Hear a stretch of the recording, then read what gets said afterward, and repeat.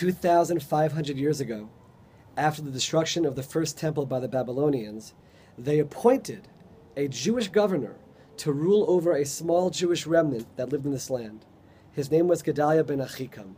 And as described in Jeremiah chapter 41 and in Kings 2 chapter 25, a fellow Jew named Ishmael and some of his friends came and joined Gedaliah for the festive meal on Rosh Hashanah, and then Ishmael rose up and assassinated Gedaliah.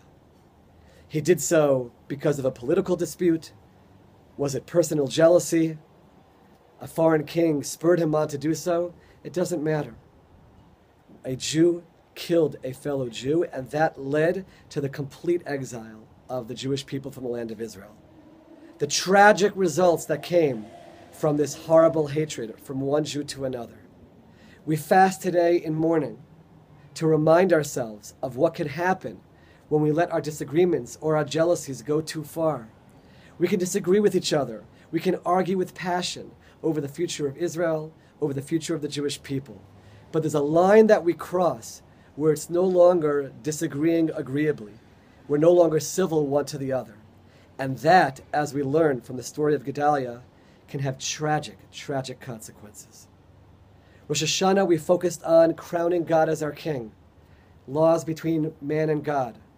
Today on Tzom Gedaliah, we take our repentance one step further and we focus on our relationships to others. Are we loving others as we love ourselves? Are we allowing our disagreements to rip ourselves apart? That is what we, must think about today.